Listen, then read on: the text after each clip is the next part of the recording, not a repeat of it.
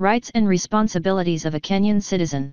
Human rights can be defined as the accepted principles of fairness and justice, or the universal moral rights that belong equally to all people in their capacity as human beings.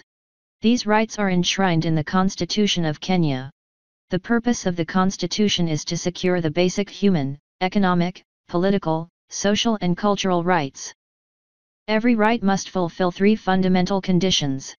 1. A condition of life, which is necessary for the development of human personality. 2. A social character, since it presupposes the existence of other members of the society. 3. It must be enjoyed equally by all members of the society. The Constitution of Kenya contains the rights of the individual and special groups such as children, the youth, and people with disabilities. It gives the state the responsibility of guaranteeing these rights. The rights are contained in Chapter 4 of the current Constitution under the Bill of Rights. This chapter is not merely an integral part of the Constitution of Kenya, it is the fundamental basis for the establishment of the state. Human rights and fundamental freedoms are recognized and protected in the Constitution because they preserve the dignity of individuals and communities, and promote social justice. The rights and fundamental freedoms are possessed by all Kenyans without regard to their social status, origin, or persuasion. The following are the rights and fundamental freedoms that are protected in the Bill of Rights. 1. Right to life. This guarantees every person the right to life. The Constitution states that life begins at conception. This means that no one should be deprived of life deliberately. This also means that abortion is not permitted unless there is need for emergency treatment or the life of the mother is in danger. This is based on the opinion of a trained health professional. However, this right is limited in the sense that a court of law can sentence one to death if found guilty of an offense punishable by death. Such offenses include murder, treason, and robbery with violence. It must, however, be noted that many countries have now abolished capital punishment. This has been supported by most religions on grounds that it is God who gives life and it is only Him who can take it away. People who attempt to commit suicide are also punishable on the strength of this right. One must not procure an abortion or compromise the life of others in society. Although the Constitution of Kenya protects citizens' right to life, there are instances when this right may be taken away. These include 1. When one is defending one's life or country as is the case during war. 2. When defending one's property against violent attack. 3. When a law enforcement officer's life is endangered, for example when apprehending armed criminals. 2. Equality and freedom from discrimination. Every person is equal before the law and has the right to equal protection and equal benefit of the law. This means that everyone has a right to fully and equally enjoy all the rights and fundamental freedoms. It also means that both men and women are equal before the law. No one should be discriminated against on the basis of race, sex, color, pregnancy, marital status, disability, religion, language, or birth. During the colonial times in Kenya, it was common for people to be discriminated against on racial grounds. For example, education was provided along racial lines. Similarly, salaries and wages were based on one's race. This situation is illegal and is prohibited in the Constitution of Kenya. 3. Human dignity. The Constitution guarantees every person the right to dignity. This means that every person's dignity should be respected and protected. One must not ridicule or embarrass other members of society. 4. Freedom and security of the person. This right protects a person from being detained without a good reason and without trial. It also protects a person from being subjected to physical or psychological torture, corporal punishment, or cruel and inhuman treatment.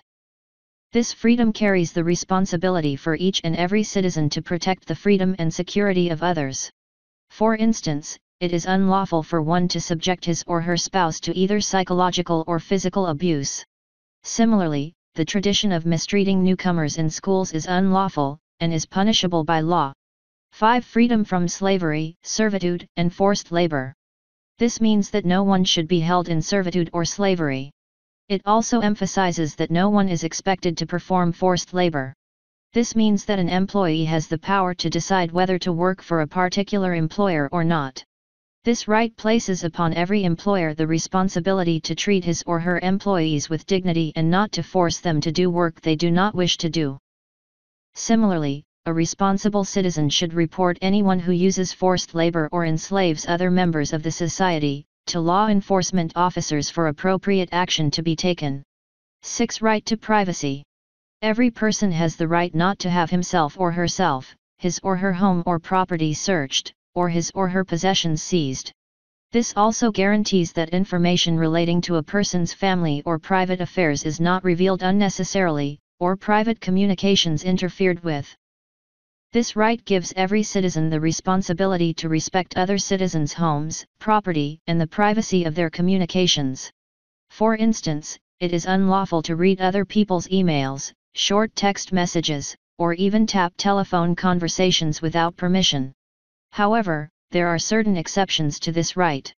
For example, the law allows police officers, tax inspectors, and other government agents to search private homes or business premises for purposes of health inspection, tax collection or any other officially sanctioned reasons. 7. Freedom of conscience, religion, belief, and opinion. This right gives every person, either individually or as a group, the freedom to manifest any religion or belief through worship, practice, teaching, or observance, including observance of a day of worship. This means that one cannot be denied employment or educational opportunity because of belonging to a particular religion or because of one's belief. In addition, a person cannot be forced to act or engage in any act that goes against his or her belief or religion. This freedom places upon citizens the responsibility of being watchful to make sure no member of society is denied an opportunity on religious grounds or because of their beliefs. Every citizen must be careful not to infringe upon this freedom. A good example of this is a situation where members of the Seventh day Adventist Church are left to observe the Sabbath on Saturday, although most Kenyan Christians worship on Sunday. 8. Freedom of expression. This guarantees all Kenyans the freedom to seek, receive, or impart ideas or information. It also guarantees freedom of artistic creativity, academic freedom, and freedom to conduct scientific research. This, however, comes with serious responsibility. In the exercise of this freedom, everyone is called upon to respect the rights and reputation of others. It is unlawful to spread propaganda with the intention of provoking people to war or violence. It is also unlawful to engage in hate speech that can lead to ethnic incitement, incitement to cause harm, or any form of discrimination. 9. Freedom of the media. This guarantees the freedom and independence of print and electronic media, as well as all other types of media, and gives them protection from interference by the state. This guarantees media owners and those who work for the media, freedom to operate without being penalized for their opinions. This freedom, however, carries the responsibility of ensuring that the media industry reports impartially and avoids inciting members of the public. The media has a responsibility to provide fair opportunity for the presentation of divergent views and dissenting opinions. 10. Access to information. This gives every person the right of access to information held by the state. The state is, therefore, expected to make public any important information affecting the nation. It also provides every person with the right to access information held by others, which is required for the protection of any right or fundamental freedom. In addition, every person has the right to the correction or deletion of untrue or misleading information that affects the person. This right places upon citizens the responsibility of not misrepresenting such information, or misusing the information for selfish gain. In addition, it is illegal to sell such public information for monetary gain. 11. Freedom of association. This provides every citizen with the right to form, join, or participate in the activities of an association of any kind. This also caters for registration of associations which should not be withheld without good reason. This also gives one the right not to join any such association if one does not want to. This freedom places responsibility on every citizen to ensure that one does not join associations that are engaged in illegal activities, such as stealing or killing. 12. Right to assembly, demonstration, picketing and petition. This gives each individual the right to assemble and participate in peaceful demonstrations, and even to present petitions to public authorities. This right is, however, accompanied by a lot of responsibility. For example, those demonstrating must not interfere with the peace of others through acts such as harassment of motorists and destruction of property. Doing so violates the rights of other members of the society.